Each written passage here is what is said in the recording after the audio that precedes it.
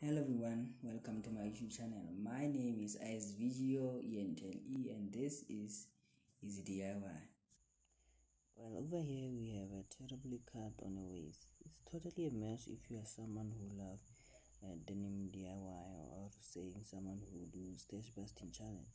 Or you can say a patchwork or a denim recycle.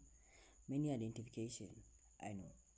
Uh, one of the reason is we don't know how to remove loops on a pant or you can say a pass through for a belt but I will show you how to remove this.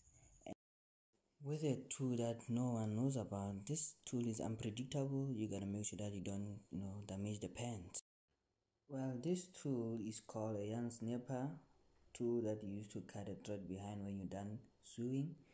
Um it it has other purposes purposes like you know removing uh, loops or a pass through of a belt. And uh, yeah this is how i'm going to do it. You, you gotta be careful with your hand so that you know it does not cut you because when it's new it's too sharp. You need to handle it with care so that you know you don't damage the pen or you don't cut yourself yeah. So we're gonna keep doing that over and over up until know the other part of the denim is now attached from detached from other part of the denim the, the denim.